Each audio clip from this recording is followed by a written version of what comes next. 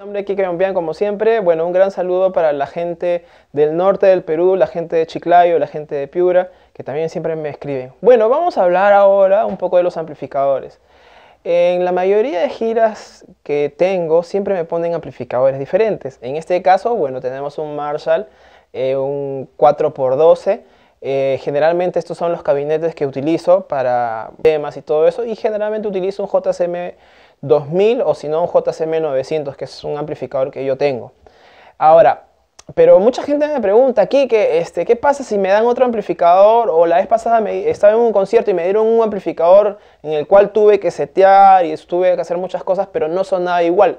Pero otros tienen otro amplificador y me dicen, que sonó chéverazo y ese amplificador es el que yo quiero.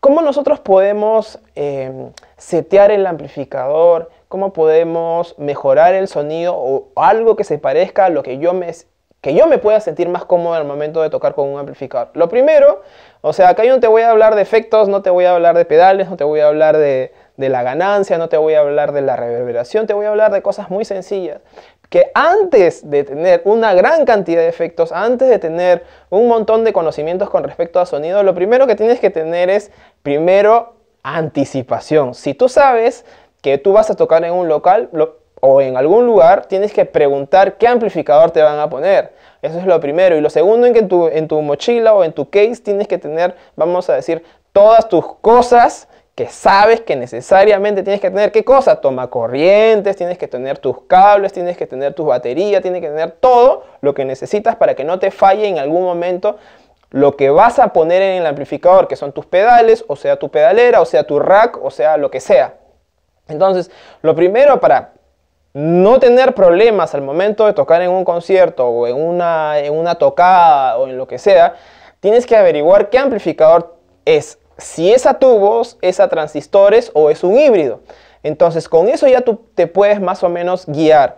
Si tú tienes un amplificador que es a transistores, definitivamente vas a sentir el gran cambio que es tocar con un amplificador a tubos. Si tú tienes un amplificador híbrido, o sea, es decir, un amplificador híbrido es que tiene parte transistor, parte tubo, entonces te vas a más o menos al moldar algunas cosas. Eso es lo primero, tienes que averiguar si es que es un híbrido, si es que es una tubos o si es que es una transistores.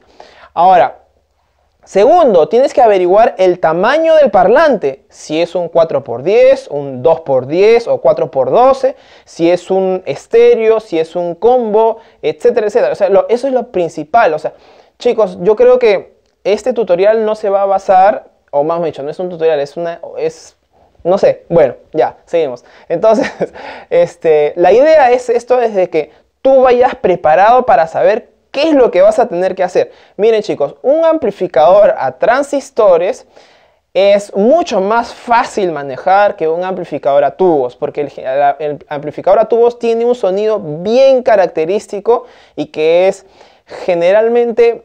Eh, sacarle un sonido hay que estar bastante tiempo con eso. Si tiene un, amplificador que es a transistores, okay, que no tiene tubos obviamente, entonces la pedalera va a comenzar a funcionar mucho mejor en un amplificador a, ya no importa, eso lo corto, en un amplificador a, este, a transistores.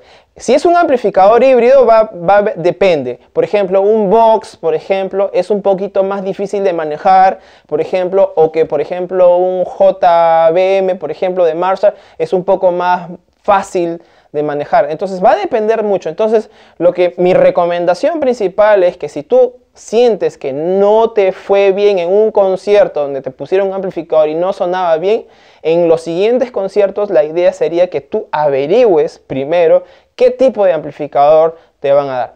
Ahora, con respecto al tema de las distorsiones, ustedes pueden ver acá en, arriba en el link eh, que les estoy poniendo con respecto al sonido del amplificador, cómo sonar mejor con distorsión y sin distorsión. Mi nombre es Kike Yompian, nos vemos.